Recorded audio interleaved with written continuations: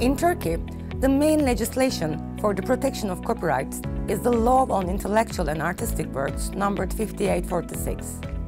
The law was originally enacted back in 1951 and amended for several times in 1983, 1995, 2001 and 2004 respectively.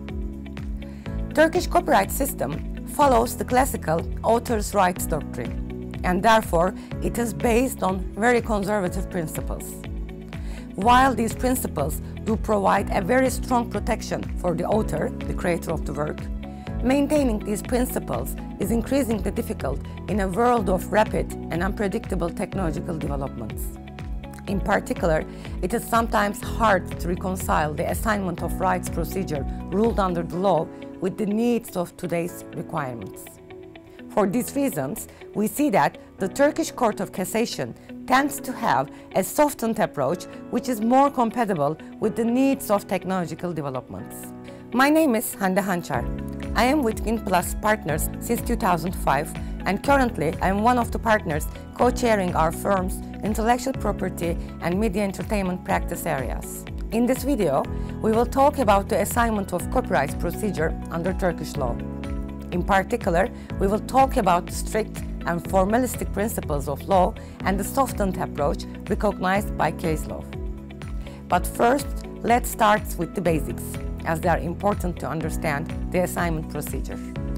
Law on intellectual and artistic works protects the rights of the author on intellectual and artistic creations which can be qualified as work as per the definition of the law. The work is defined as any intellectual and artistic products which bear the characteristics of its author and which fall under one of the categories listed under law. These categories are scientific and literary works, musical works, works of fine arts, and cinematographic works. Under the Turkish copyright law, the general principle is that the person who creates the work is the author of that work, and only real person can be the author. The work made for hire concept is not acknowledged under Turkish law.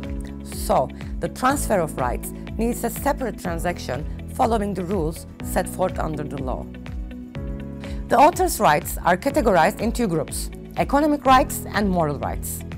The economic rights are the rights which allow the authors to commercially exploit the work, while the moral rights protect the non-pecuniary interests such as reputation and being acknowledged as the author of the work. Only the economic rights of the author can be assigned. Moral rights are not transferable and the author cannot waive the moral rights. However, the right to use the moral rights can also be assigned. As per Article 48 of the law, the rights arising from the work cannot be assigned to third parties unless the work is physically embodied by its owner. In other words, in order to realize the assignment, the work must be physically created. Any agreement that relates to the transfer of rights for the works which has not yet been created or will be completed in the future shall be null and void. However, as per Article 50 of the law, it is possible to obtain an undertaking from the owners for the transfer of rights relating to future works. Therefore, if you make an agreement before the creation of the work, an undertaking can be included in an agreement stating that the determined rights will be assigned to a specified party when the work is physically created. But once the work is created, a separate assignment agreement must be signed. Accordingly, there is a two-stage agreement process.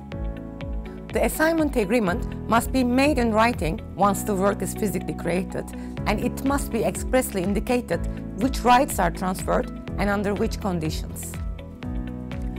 Because of the practical difficulties, we see that the Court of Cassation doesn't consider the transfer or license agreement that relate to future works as null and void, but the court considers that these agreements should be accepted as an undertaking from the author.